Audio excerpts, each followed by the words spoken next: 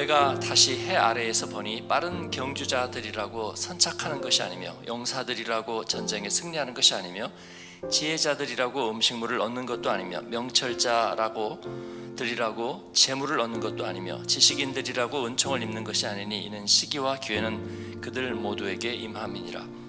분명히 사람은 자기의 시기도 알지 못하나니 물고기들이 재난의 그물에 걸리고 새들이 올무에 걸림 같이 인생들도 재앙의 날이 그들에게 호련히 임하면 거기에 걸리느니라. 내가 또 해 아래에서 지혜를 보고 내가 크게 여긴 것이 이러하니 곧 작고 인구가 많지 아니한 어떤 성읍에 큰 왕이 와서 그것을 에워싸고 큰 흉벽을 쌓고 치고자 할 때에 그 성읍 가운데에 가난한 지혜자가 있어서 그의 지혜로 그 성읍을 건진 그것이라. 그러나 그 가난한 자를 기억하는 사람이 없었도다. 그러므로 내가 이르기를 지혜가 힘보다 나으나 가난한 자의 지혜가 멸시를 받고 그의 말들을 사람들이 듣지 아니한다 하였노라. 조용히 들리는 지혜자들의 말들이 우매한 자들을 다스리는 자의 호령보다 나으니라. 지혜가 모기보다 나으니라. 그러나 죄인 한 사람이 많은 선을 무너지게 하느니라. 아멘. 예, 세상의 지혜 하나님의 지혜 주제로 오늘 같이 예, 묵상하겠습니다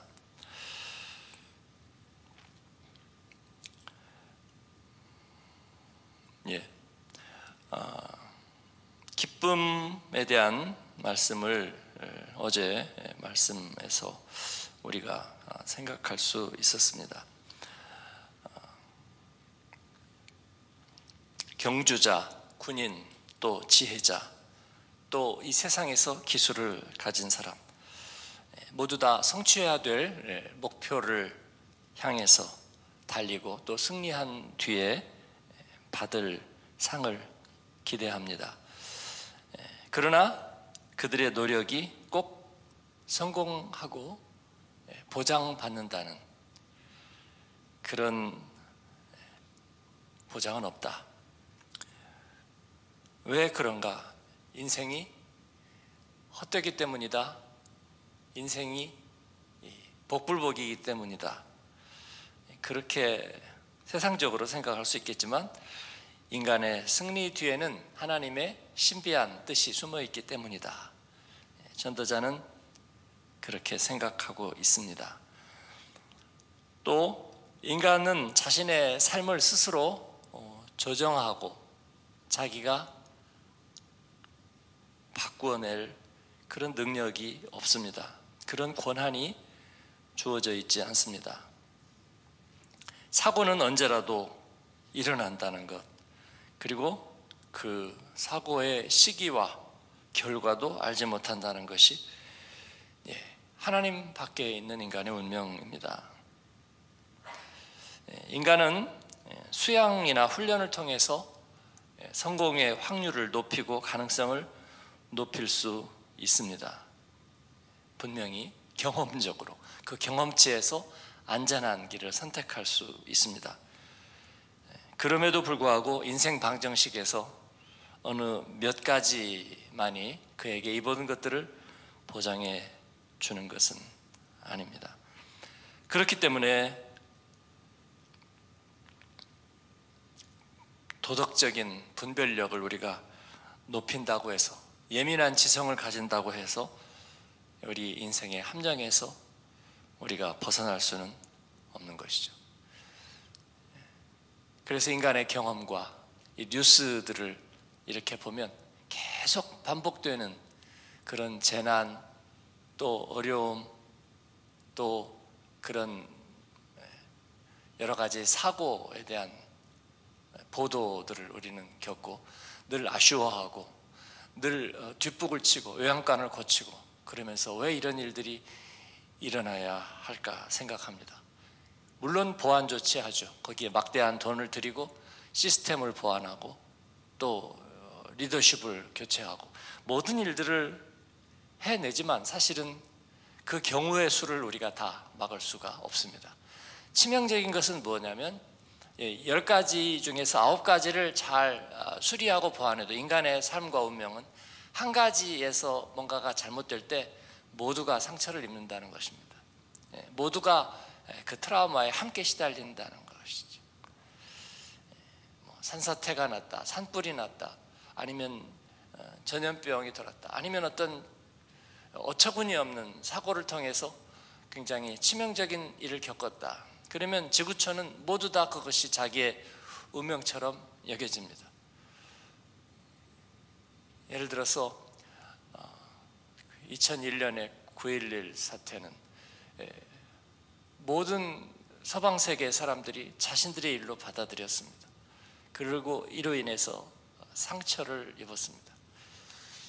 세상이 좋아진다는 말은 그래서 좋아지는 게 아닙니다. 저는 그렇게 부르지 않습니다. 물론 중세 때처럼 패스트가 돌고 또 어, 대흉년, 대공황, 또 세계 대전이 있을 때처럼 불행한 시기를 살지 않는다는 것이 우리에게 다행이다, 행복이다, 행운이다 그렇게 말할 수 있을지 모르지만 그렇지는 않습니다. 이제 점점 점점 온 세계가 같은 운명체로 묶이게 됩니다. 옆집 아이의 일이 옆집 아이의 일만이 아니라 아이가 다 자란 집에게도 역시 위기의식으로 다가옵니다. 우리가 공동체가 된다는 것은 예, 그런 것이고 그리고 이 세상의 일들을 우리가 다 같이 겪고 있으면서 경제적인 우리가 하나의 끈에 묶여 있을 뿐만 아니라 점점 운명 공동체가 되어가고 있는 것 같습니다. 그런 가운데에서 우리 인간의 안전과 또 행복과 성공의 가능성이 그렇게 높아진 것 같지는 않습니다. 오히려 우리 가운데 우울함과 비관주의는 훨씬 더 높아져서 예, 우리 아이들도 많은 경우에 예, 굳이 병명으로 분류하자면 우울증을 앓고 있는 것 같습니다. 성도들도 상당수가 또 선교사, 목회자, 가정 중에 상당수가 우울증을 앓고 있는 것 같습니다. 왜냐하면 믿음이 없어서만은 아니고 우리의 삶이 그러한 것 같습니다. 전도자는 이 코헬렛은 그와 같은 사실을 분명하게 알고 있는데 그래서 중요한 것은 우리가 지혜로운 삶을 경영하는 것이지만 그러나 우리가 소유하고 우리가 어, 적용하는 지혜가 완전하지 않다 는 사실을 얘기해 주고 있습니다. 예. 욥기나 어, 잠언보다도 이 전도서는 조금 더 강력합니다. 우리가 하나님만을 의뢰해야 될 이유에 대해서 조금 더 강력하게 얘기하고 있고 예, 그러면서도 우리가 아, 가져왔던 기독교적인 기본 교양 하나님의 주권을 인정하고 하나님을 사랑하고 하나님 앞에 엎드리고 하나님 외에 의지할 게 없지만 그러나 하나님이 주신 부르심을 따라 세상에서도 열심히 살자 했던 우리들의 모토에 약간 아, 이의를 제기한다고 할까요? 약간 좀 더 근본적으로 어, 우리에게 말씀을 건넨다고 할까요? 오늘은 심지어 이 세상의 지혜가 어, 위태롭다는 사실에 대해서도 얘기하고 있습니다. 그리고 그 사람이 하나님을 믿든 믿지 않건 이 세상 속에서 우리가 지혜를 추구하고 살아가는 삶이 그렇게 안전하지는 않다. 그렇게 인정받지는 못한다는 사실을 얘기해 주고 있습니다. 이것은 우리에게 두 가지 마음을 불러일으키게 합니다. 하나는 약간 허무하다는 것과 또 하나는 그렇기 때문에 우리가 더 복음 위에 철저히 서야 한다. 두 가지 생각을 불러 일으키게 합니다. 예, 허무한 것도 사실입니다. 저는 어, 저만 그런 줄 알았습니다. 복음의 눈으로 세상을 볼수록 예, 뭔가 허무해지는 것들이 많아진다. 예, 그래서 애써 떨치고 밝은 눈으로 또 긍정적인 눈으로 또 세상의 일들도 어느 정도까지는 받아들이는 죄를 받아들인다는 것이 아니라 세상의 삶의 불완전한 요소들도 예, 우리가 받아들이고 너그럽게 인정하고 하나님이 허락하신 것이니까 근데 그게 그렇게 쉽지만은 않습니다. 복음 근본주의가 되는 것은 아닌가 그런 생각 종종 들기는 하지만 그러나 예, 오늘 이 전도서의 말씀들을 보면 예, 한 걸음 훨씬 더 앞에 나가고 있습니다. 우리의 인간의 권한을 아주 극도로 축소하고 또 우리가 하나님의 일에 참여하고 기여할 수 있는 일들 아주 극도로 축소하고 있습니다. 어느 성에 가난한 지혜자가 있는데 마치 그 사내립과 같은 아수르의 왕과 같은 그런 거대한 대군이 와서 둘러 진치고 있는데 그 지혜자의 지혜로 환란을 면했다. 그런데 사람들은 그를 잊었다. 아, 굉장히 슬픈 이야기 아닙니까? 예. 적어도 동화적인 상상력만 가지더라도 예, 그는 보상을 받거나 적어도 존경을 받거나 적어도 그의 당대에서는 인정을 받아야 될 터인데 오늘 말씀은 그러나 그 당대에 그 가난한 지혜자를 기억하는 사람이 없다고 합니다. 세상적으로는 분노할 만도 하고 섭섭할 만도 하지만 우리는 복음 안에서는 그러나 아무렇지도 않습니다. 그래서 우리에게 이 복음 DNA가 왜 중요한가 하는 것을 알 수 있겠습니다. 복음 안에서는 아무렇지도 않습니다. 우리가 주님 앞에 기억된다는 것, 외에 세상에서 기억되지 못한다는 것에 대해서 그렇게 슬퍼할 일은 없습니다. 어, 교회의 기록은 필요하지만 저는 어, 뭐 한마음 교회 뭐 교회사 해가지고 예, 시시콜콜 이렇게 해서 그것은 저는 글쎄요 나중에 누가 만들어도 뭐 반대할 생각은 없지만 굳이 안 만들어도 좋겠다는 생각을 저는 예, 늘 가지고 있습니다. 주님의 앨범에 다 등재되어 있고 주님의 기억에 다 기록이 되어 있을 터인데 예, 그것이 복음의 그루터기라면 복음의 역사와 구속 의 역사에 분명히 한 페이지 또 한 줄기를 차지하고 기록되어 있을 터인데 우리가 굳이 거기에 기념비를 세우고 또 그 기록물을 자랑으로 삼아야 될 굳이 그런 이유는 없을 것이다. 왜냐하면 이 세상의 환란과 또 이 세상의 어떠한 일들이 앞으로의 그 복음의 경로와 길들을 어떤 방식으로 다르게 이끌어 가게 될지는 모릅니다. 하나님은 그 가운데서도 하나님의 일을 하실 것입니다. 우리가 복음 안에 산다는 것은 주님과 정말 절대 동행하는 것 뿐입니다. 에녹과 엘리야가 죽음을 보지 않았다는 것은 그가 이 세상에서 끝없이 살았다는 것은 아닙니다. 그러니까 세상적인 논법으로라면 에녹도 엘리야도 죽은 것이 맞습니다. 그런데도 그들이 우리가 생각하는 생로병사의 죽음을 겪지 않았다는 것은 이별의 아픔도 있었습니다. 이 세상에서 단절되는 슬픔도 있었습니다. 그러니까 죽은 거 맞습니다. 굳이 얘기하자면 눈 뜨고 죽었다. 뭐 그 정도 얘기를 해야 될까요? 엘리야. 저는 야 엘리야처럼 그렇게 하늘로 올리울 수 있다면 참 좋겠다 생각했는데 엘리야가 근데 세상에 미련이 좀 많았다고 예를 들어서 그 털옷을 입었잖아요. 털옷을 세탁소에다 맡겨놨어요. 아 그거 찾아놓고 엘리사 찾아놓고 그렇게 해서 주고 가야 되는데 물론 엘리사가 바로 갖고 있었습니다. 예를 드는 거예요. 적절한 예가 아닌 것 같으네요. 뭔가가 뭔가가 아, 완벽주의자 성격의 엘리야가 뭔가가 처리가 안 된 게 있어요. 그러면 아쉽지 않았을까요? 그것만 있었을까? 아, 한 가지, 두 가지, 세 가지, 네 가지, 다섯 가지, 여섯 가지, 가지. 아쉬움이 있었을 거라고 생각해요. 지각이 뚜렷한 대로, 지각이 없는 대로. 그러나 엘리야와 아, 에녹이 하나님과 동행했다는 것은 저는 절대 동행이라는 생각이 듭니다. 어떤 것도 변수가 되지 않, 어떤 것도 미련이 남지 않는. 음, 예. 그래서 떨쳐버릴 수 있는 거. 예. 그래서 우리 예, 옛말에 항상 그래 눈을 감지 못한다. 왜냐하면 아쉬움이 많아서 두고 간 자식들을 생각하니까 눈을 감지 못한다. 그래서 아쉬운 거예요. 내가 다른 건 다 괜찮아. 근데 눈에 밟히는 그 자식 하나, 그 문제는 내가 눈에 눈을 감을 수가 없어. 라고 생각하는. 이건 절대 동행이 아닌 거죠, 여러분.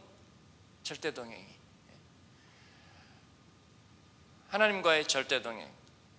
오늘 주님이 이 시간에 부르셔도 아무 뭐 미련도 뭣도 없다. 그건 뭐냐면 이 세상에 대해서 어느 정도까지는 우리가 늘 놓고 살고 있다는 것입니다. 심지어 이 세상의 지혜도 내가 이룬 것도 내가 이룰 것들도 주님의 손에 있다. 그러면 난 그냥 캐세라세라 하고 대충대충 믿습니다 하고 살면 되느냐? 그럴 리는 없죠. 그렇게 해서는 우리가 한순간도 살 수가 없죠. 한순간도.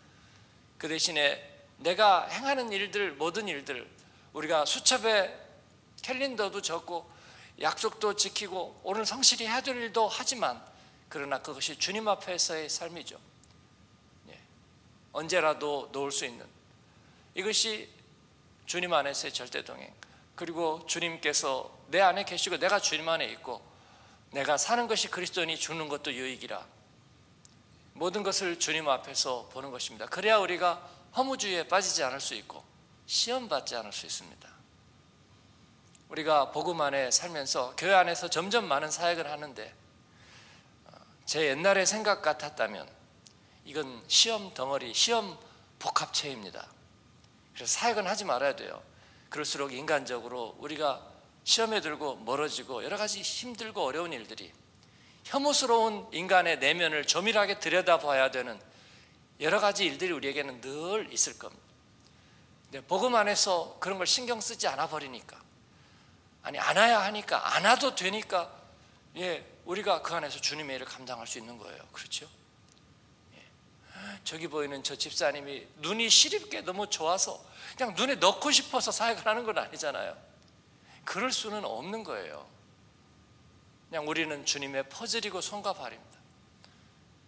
그리고 그 주님에 대한 사랑과 받은 은혜에 대한 생각만 있어도 우리는 서로 협력해서 일을 할 수가 있고 또 형제의 모습 속에 보이는 주님의 형상이 아름답고 자매의 모습 속에 보이는 주님의 마음이 아름다워서 그건 우리의 거대한 착각이죠. 거대한 착각입니다. 근데 그 착각이 맞습니다. 그들 안에 계신 주님만 보는 것이 우리의 착각이죠. 그 전에는 인간적인 면모를 꼼꼼히 살피고 뜯어보아서 나하고 코드가 맞는지 내가 좋아하는 타입인지 아니면 내가 극혐하는 타입인지 이런 것들이 다 변수가 되었을 터인데 그러나 우리가 구속한 주님만 보이는 그런 우리의 착각, 우리의 착시 현상이 만들어낸 주님과의 동행이죠. 오늘 말씀에서 우리가 다시 허무해지지 않으려면 하나님과의 절대 동행, 오직 내 영혼이 잠잠히 하나님만 바라며 이 말씀이 이것도 틀렸고 저것도 틀렸다. 뭐 교회도 보지 않고 목회자도 보지 않고 교인도 보지 않고 오직 내 주님만 본다. 예, 이건 약간 독선적으로 들립니다. 그런 표현이 아니라 주님과의 절대 동행, 복음과의 온전한 친밀함. 그 안에서 우리가 하루하루 순간순간의 삶을 보는 것. 예, 그 모습은 그러면은 굉장히 자기의 틀 안에, 자기의 성 안에 갇혀 있는 우울하고 맹목적이고 독선적인 그런 신자로 보일 것인가? 그래서는 안 될 거라고 생각합니다. 온유하고 겸손하고 성실하고 진실하지만 다만 판단하지 않을 뿐이며 그리고 서로 협력하지만 마음속에는 주님에 대한 감사와 또 감격이 있는 인생 쉽지 않은 것 같지만 어렵지도 않습니다. 주님만 생각하면 이 모든 것들은 어렵지 않습니다. 사랑하는 여러분, 지혜는 오늘 말씀처럼 위태롭습니다. 물론 다스리는 사람의 호령보다 조용한 지혜자의 말이 옳기는 하지만 그러나 한 인간의 죄로 인해서 쉽게 무너져 버릴 수도 있는 것이 인간의 지혜의 탑이라 하는 사실을 얘기해 줍니다. 그래서 참된 지혜는 우리가 주님을 경외하는 것입니다. 주님을 바라보는 것입니다. 주님을 의뢰하는 것입니다. 이것이 전도자의 세계입니다. 예. 그리고 우리 그리스도인의 세계입니다. 출애굽기 1장은 이 스스로 어, 신에 비견되는 애굽의 바로가 아, 어떤 지혜를 가지고 세상을 통치하는지를 보여준 바가 있습니다. 200만이나 되는 한 민족을 노예로 부를 수 있는 이 바로는 대단한 지혜자입니다. 그들을 온갖 술책을 동원해서 그들을 붙잡아두고 그들을 노역에 동원하면서도 예, 채찍과 당근으로 신격화된 바로는 예, 그들을 조정합니다. 이것이 세상의 지혜인데 그건 대단하다고 생각됩니다. 그 바로는 예, 많은 문화를 만들었고 또 어, 사람을 다스리는 그래서 그 바로는 요괴베스의 노래도 만들고 여러 가지 일들을 하죠. 그러나 하나님의 지혜는 대단히 피동적입니다. 대단히 소극적입니다. 히브리 산파들이 하나님을 두려워하게 하는 일. 그래서 그 바로의 억압 정책을 어, 산하를 제한하고 특히 남자를 죽이는 교묘하게 죽이는 바로 그와 같은 바로의 정책과 악행을 하나님은 소극적으로 하나님을 두려워하는 그들이 예, 히브리 여인들이 힘이 좋아서 애를 받으러 가기도 전에 애들을 낳아버렸다 그런 변명을 하게 만드는 하나님의 지혜는 소극적인 것처럼 보이지만 그러나 그 하나님의 지혜가 출애굽의 역사를 만들어 낸다는 것을 우리에게 보여준 바 있습니다. 하나님과의 동행, 절대 동행, 복음 위에 선 우리들의 하루하루의 순간순간의 삶은 오늘도 우리를 건져낼 것입니다. 하나님의 은혜를 은혜되게 하고 주님만을 바라보게 하고 거미줄 같은 세상과 심리적인 우리들의 네트워크로부터 우리를 건져 줄 것입니다. 주님만 생각하십시오. 복음의 은혜를 기억하십시오.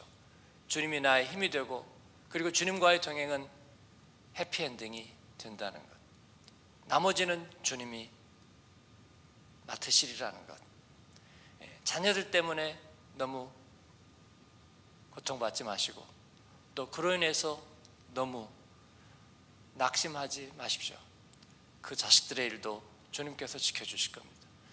우리가 할 일은 그들을 축복해 주는 것입니다. 네, 그들을 맡기는 것입니다. 그리고 하나님과 묶어 주는 것입니다. 그런데 묶어 주는 것도 지들이 할 일입니다. 지들이 할 일. 그리고 약간 하나님이 하실 일이니까 그냥 맡겼으면 놔둬 버리십시오. 네, 그 이상 할 수 있는 일은 사실상 없습니다. 24시간 쫓아다니면서 감시할 수도 없고 그리고 흥신소 직원을 붙일 수도 없습니다. 우리 집안에 있어도 그것을 다 통제할 수는 없습니다. 하나님께 맡겨드리십시오. 어떤 가정사역자의 조언과 지혜도 모든 것을 다 만족시킬 수는 없습니다. 하나님께서 하셨고 하실 것입니다. 비천한 우리의 비천함을 하나님께서는 기억하시고 우리에게 선하심과 인자하심을 베풀지 않으셨습니까? 오늘도 우리에게 세상의 지혜보다 하나님의 지혜가 있고 우리에게는 우리를 사망에서 영생으로 옮기신 그 복음의 은혜가 있습니다. 이를 붙들고 오늘도 주님 안에서 승리하는 저와 여러분 되기를 축복합니다. 아멘.